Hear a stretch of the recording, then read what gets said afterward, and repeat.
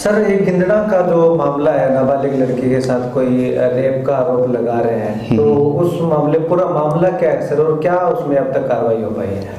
उसमें जो आरोप लगे थे वो लड़की के रेप के गिंदड़ा का उसमें दो आदमी की गिरफ्तारी हो रही है एक अनिल था दौड़पाड़िया एक पवन है गिंदड़ा का। दो आदमी की गिरफ्तारी होगी उसके अंदर। ठीक है।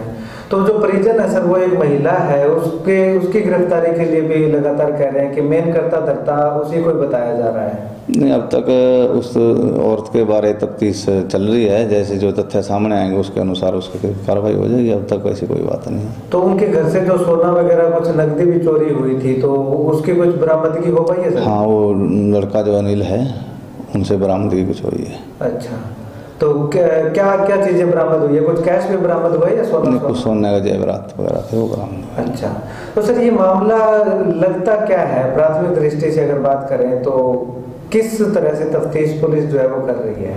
वो लड़का लड़की के कोई ऐसा मामला था जो जिस कारण उन्होंने अपना परिवार वालों ने जो बात बताई लड़की के बयान पे पर्चा दर्ज हो गया था। पर्चा दर्ज होने पे जो लड़कों के खिलाफ जो नाम लिखवाए गए थे फिर उन्होंने इसके साथ जो भी हुआ है उनकी गिरफ्तारी हो गई है। हम्म, तो सर रेप भी हुआ है? लड़की का कोई पुष्टि हो पाई है? नहीं इसका तो भी हम्म, उसके अंदर कागजों के अंदर ही जो रिपोर्ट वगैरह है वही है। अच्छा रिपोर्ट आई नहीं अभी तक? सैंपल भेज रखे हैं? हाँ, रिपोर्ट वगैरह सारे लिए हैं वो जाएँगे अभी। अच्छा।